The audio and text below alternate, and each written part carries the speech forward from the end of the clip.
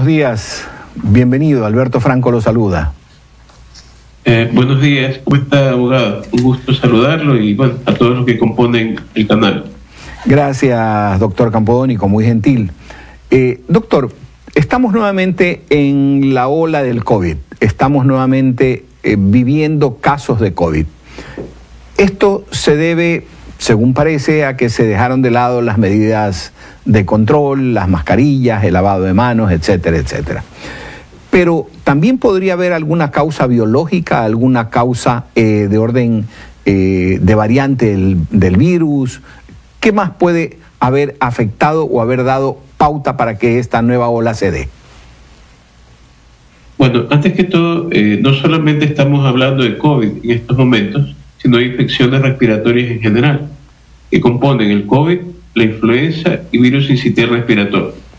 A nivel de COVID, sabemos que hay nuevas, nuevas variantes, pero sabemos que, por ejemplo, de los 1.400 casos que se documentaron la semana previa a, a la anterior, que subieron de 800 a 1.400 en una semana y probablemente tengamos más durante esta que, que viene, generalmente son casos de más contagio, pero eh, son como una gripe fuerte.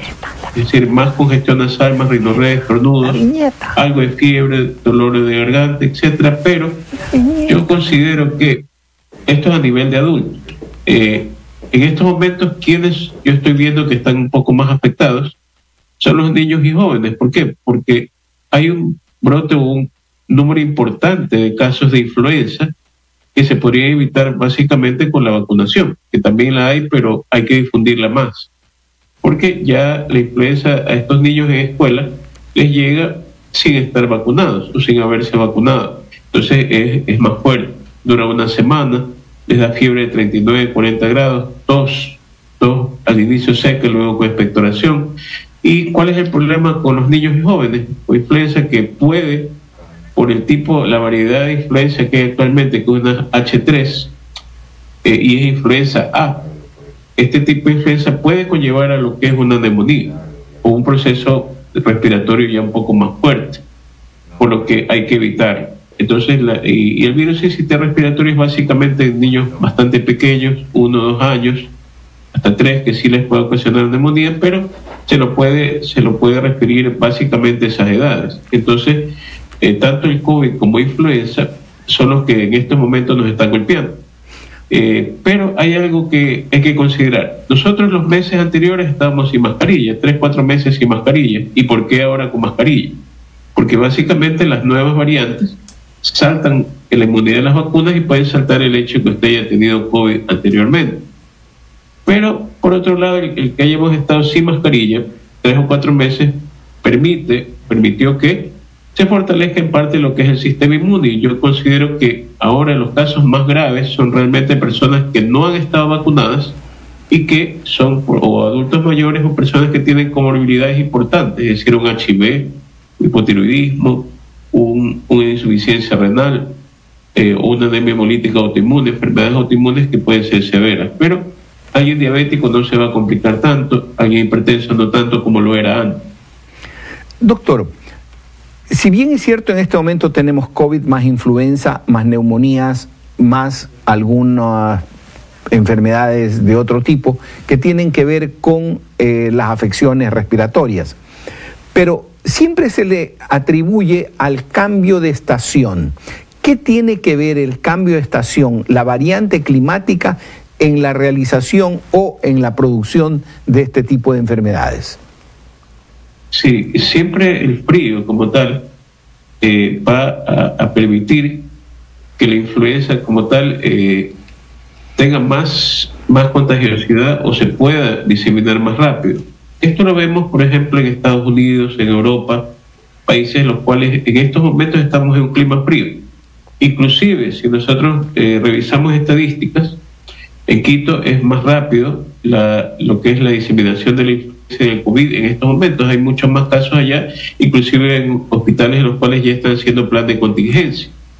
Y, eh, y aparte de eso, el hecho de que nosotros acá en Guayaquil, bueno, estamos yendo hacia lo que es un clima ya cálido, más cálido que, que lo que estaba en los meses anteriores, pero yo considero que eh, al, indicarle que los niños son los más afectados, en estos momentos eh, hay clases o hay, hay aulas en las cuales la mitad de los niños están infectados y la otra mitad no. Y por lo tanto han ido a clases virtuales. Probablemente ciertas cosas tengamos que ir a, virtualidad en este mes, pero considero que siempre, como usted lo indica, eh, mayores de 65 años, lugares fríos y menores de 5 años son los que pueden estar más afectados en el sentido de estas enfermedades respiratorias y son más sensibles a eso. Por lo tanto, eh, son los espectros de edades en los cuales hay que vacunar primero. No solamente contra la influenza, sino también contra el neumococo, es otra afectación también que está en esta época y también en relación a lo que es el cambio de clima. Y este neumococo puede no solamente llevar a una neumonía, sino también una meningitis. Para culminar, doctor, ¿cuáles serían las medidas de prevención, aparte de las lógicas vacunas, eh, que se deberían de tomar para tratar de evitar el contagio, contagio que es viral en su mayor parte? Sí, eh, le diré algo. Por ejemplo, en Colombia ya están pensando o ya casi están en la obligatoriedad de la mascarilla nuevamente. Probablemente a ese punto ya lleguemos aquí también, pero eh, ya es iniciativa personal. De hecho, que si usted va a ir a una aglomeración, va a ir a comprar, por ejemplo, a la bahía o va a lugares informales, o un centro comercial en el cual hay mucha gente, utilizar una mascarilla KN95 primer lugar. En segundo lugar, mejorar nuestro sistema inmune, utilizar sustancias que pueden ayudarnos a esto, como por ejemplo el calostro, o utilizar inmunoglobulinas, vitamina C, una buena alimentación, etcétera. Pero lo principal es el lavado de manos, evitar aglomeraciones, evitar conciertos. Y si usted va a salir, póngase una mascarilla KN95 y esté atento a no sacársela eh, hasta poder llegar a su casa. Eh, doctor, perdón, del público me pasan una, una pregunta. Piden, hay personas que ya se han vacunado con cuatro dosis, muchas de ellas en el exterior, y estas vacunas fueron entre mayo y junio hasta julio del año que ocurrió, cuando estaba en plena efervescencia el tema vacunas. Eh, ¿Qué pasa? ¿Ya no tienen eh, protección? ¿Tienen que buscar una quinta vacuna? ¿Qué tienen que hacer?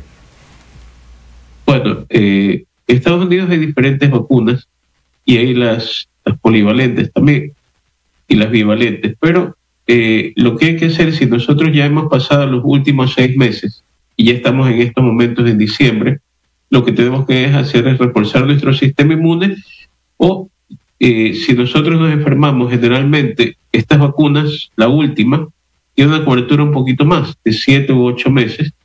Y yo he visto que las personas que se han hospitalizado aquí, que han sido en un promedio de dos por semana, un poquito más durante el último mes, semanalmente, estas personas lo que tienen generalmente para hospitalizarse es no haber tenido ninguna vacuna o tener la segunda hasta la segunda dosis y muy pocos la tercera. Entonces, realmente la cobertura de tercera y cuarta dosis sí va a, cubrir hasta estos momentos. Y sí, por algún motivo la persona se enferma, tomar las medidas básicas de, de, tratamiento de lo que es COVID.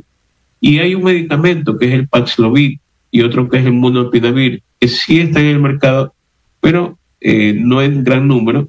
Pero este, este medicamento sirve que para el primer día que usted tenga COVID, y si ya es un COVID fuerte, o usted sabe que por las enfermedades que usted tiene colaterales va a ser fuerte, tomarlo una cada 12 horas por 5 días y evita la replicación del virus y el complicarse. Entonces hay múltiples salidas para poder evitar eh, llegar a una hospitalización. Pero lo más importante de todo esto es que por lo menos tener una tercera dosis y si usted no se ha colocado la, tercera o la cuarta, hacerlo en campaña de vacunación. Y yo veo más importante en estos momentos el ponernos la vacuna de la influenza ya y posteriormente lo que es la del COVID.